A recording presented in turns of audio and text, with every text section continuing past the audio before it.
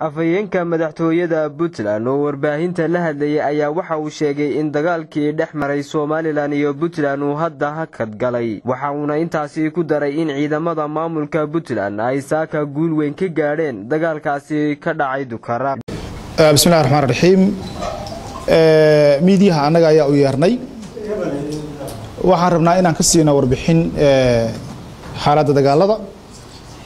Si aad la socotaan caadana u ahayd dhaqanna u ahayd maamulka somalilan baa saaka shantii iyo bar subaxnimo soo weeraray. Deegaanka ku sugan yihiin ciidanka puntland ee deegaanka tukaraq. Waxay ka soo weerareen saddex aag oo kala duwan bay ka soo weerareen. Saddexda aagba ciidanka puntland ayaa hadda ku sugan gacantana uga dhigay meelihii ay duulaan ka soo qaadeen. Taasoo ay marag u tahay garasho xumada iyo aakhirwaaga ay ku socdaan. Maamulkaas dhanka kale iyadna somalilan ayaa waxa ay sheegtay in ciidamada somalilan ay guul ka gaadheen dagaalkaasi. Laakiin waxaanu hadda haynaa oo hordhaca in gaadiid iyo maxaabiisba laga hayo. Labadaasba waa confirm.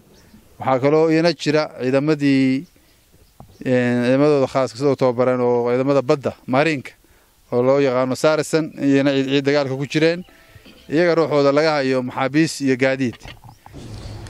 Sidoo kale waxaa halkaa ka soo gaaray dhibaato ballaaran oo iskugu jirta gaadiid laga gubay iyo kuwo gacanta looga hayo intaba.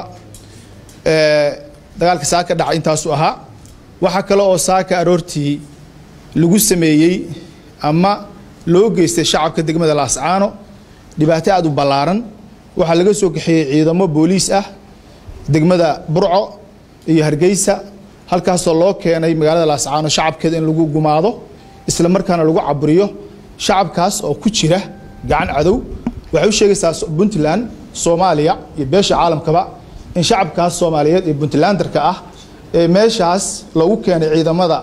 Waxa ka dhaca meeshaas iyo shacabka dhibaatada loo geysto ay mas'uul ka tahay somalilan hadday noqoto shacab la laayo hadday noqoto kuwa la xirxiro iyo kuwa hadeertaaba aad maqlayseen handadaada iyo loo marinayey muxuu ahaa cagga juglaynta loo marinayey niman weliba sheeganaya mas'uuliyiin oo laga soo diray hargeysa. Arrinkaa puntland way ka xun tahay waxayna kaloo la tiiraanyaysan tahay lana wadaagaysaa shacabka reer sool dhibka ay ku jiraan. Dagaalkaas hadeertan hakad yar ayuu galay. Puntland waxay u sheegaysaa shacabkeeda ummadda soomaaliyeed iyo cid kastoo nabadda soomaaliya doonaysaba inaysan duulaanna ahayn isla markaana dalkeeda ee dadka ay difaacayso aad baa mahadsantihin ma jirto cid ka hadashay khasaaraha dagaalkaasi ka dhashay labada dhinac. Bedri axmed maxamed bedri saqare telefishinka caalamiga ee badda cas t v